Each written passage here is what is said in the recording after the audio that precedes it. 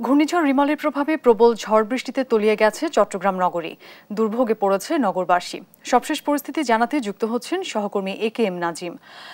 Nazim জলাবদ্ধতা বর্তমান পরিস্থিতি কেমন দেখছেন, জানাবেন।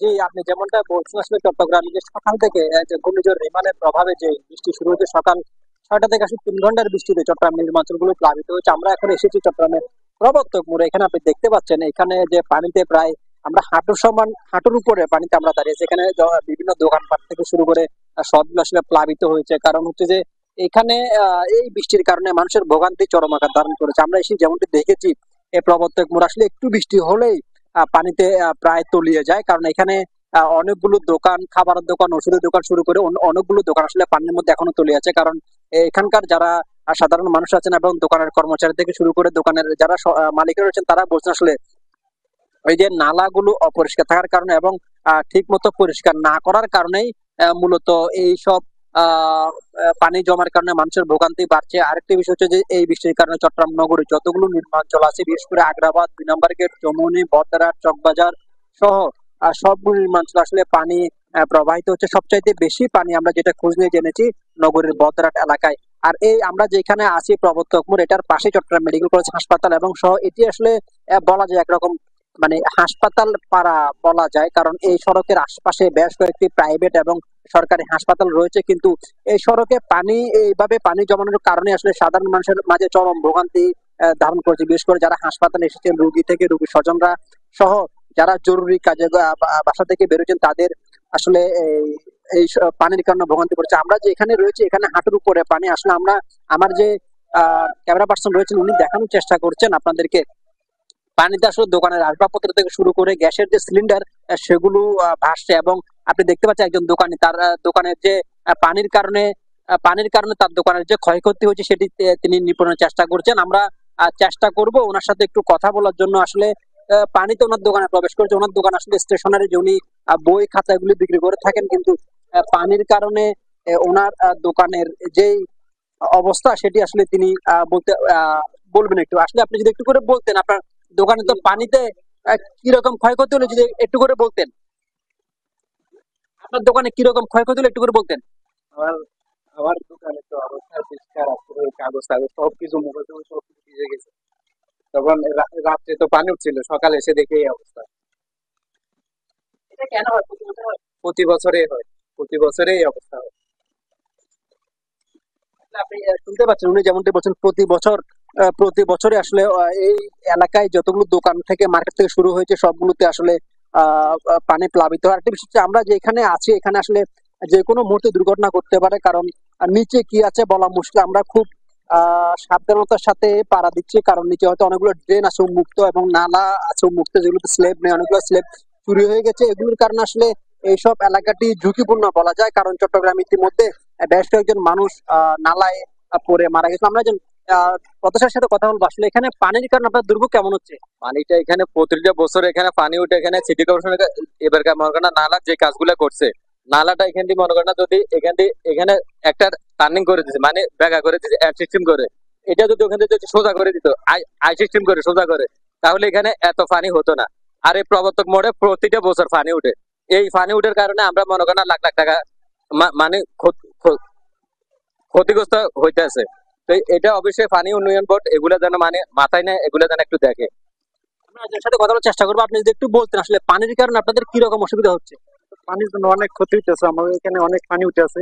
সকালে আরও থেকে দুই ফিট দুই ফিট মতো পানি অনেক কমছে। আমরা অনেক পানি ছিলেন তো আরও ক্লিয়ার করে দিতে তাহলে পানিটা আরও অনেক কমতো মানুষের ক্ষতিটা একটু কম হইতো।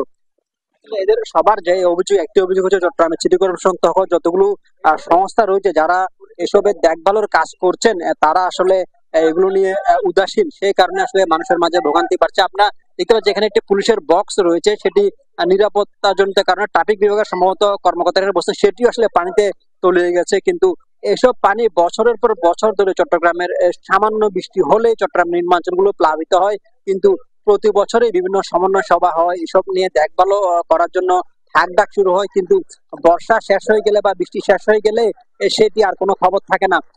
এখানে যারা সাধারণ মানুষ রয়েছেন, তাদের বক্তব্য হচ্ছে যে, এই সিটি কর্পোরেশন, চট্টগ্রাম উন্নয়ন কর্তৃপক্ষ সহ যতগুলো সংস্থা রয়েছে, সবগুলো সংস্থার আসলে উদাসীনতার কারণে মূলত চট্টগ্রামে জলাবদ্ধতা বাড়ছে এবং জলাবদ্ধতার কারণে মানুষের ভোগান্তি বাড়ছে। আমরা একটু বিষয়ে জানিয়ে রাখি, চট্টগ্রামের সকালে চট্টগ্রামের বাজিত নগর এলাকায় আসলে একটি নির্মাণাধীন ভবনের কাজ করার সময় সে ভবনের দেওয়াল ধসে একজন শ্রমিকের মৃত্যু হয়েছে।